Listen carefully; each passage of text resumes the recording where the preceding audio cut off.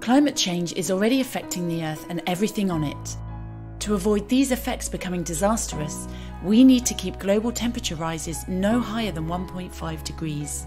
This means that within the next 10 years, global emissions need to halve. It's a big challenge for governments, businesses, and societies.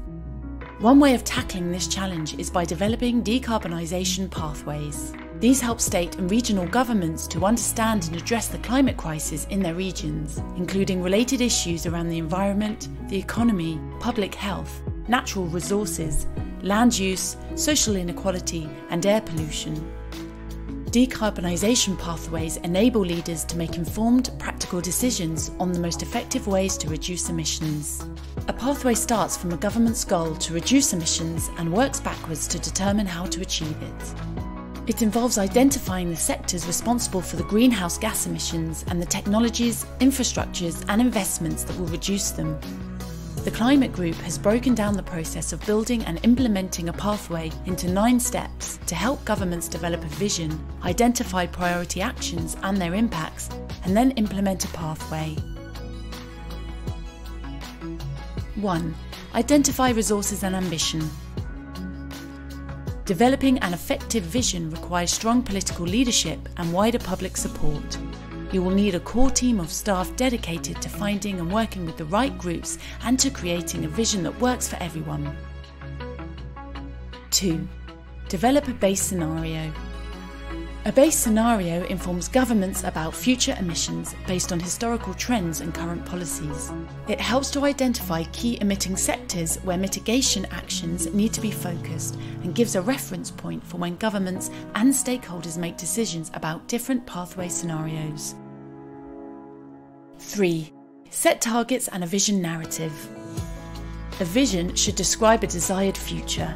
Greenhouse gas reduction targets should be ambitious, but realistic too. It is important that all the main stakeholders buy in to make it a success. By completing these three steps, governments will have developed a vision for their pathway. 4. Identify and design actions. Governments need to identify priority actions with the highest potential for transforming their economies. Every one of these actions should be smart, specific, measurable, achievable, realistic, and time limited. 5. Model scenarios.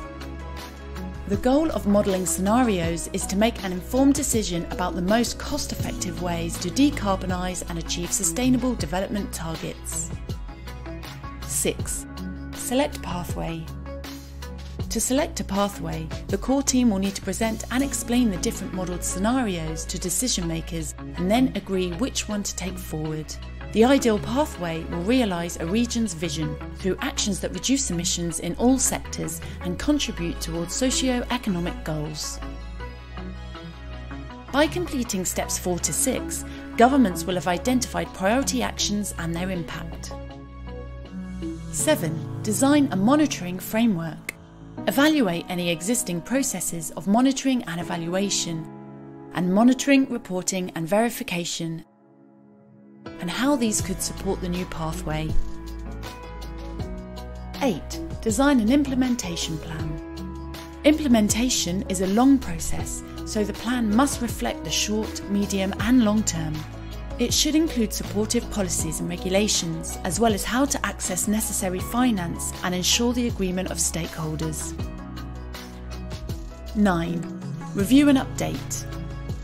A pathway is a living document and will evolve over time. It should be updated at least every five years to align with global stocktakes under the Paris Agreement. Governments that have completed all pathway steps will then be ready to implement the pathway plan and begin to make real progress towards achieving the long term vision. Using these nine steps, governments from anywhere in the world can set and meet ambitious climate targets. If this happens, then we will be in a better position to limit the effects of global warming and build a more secure future for all.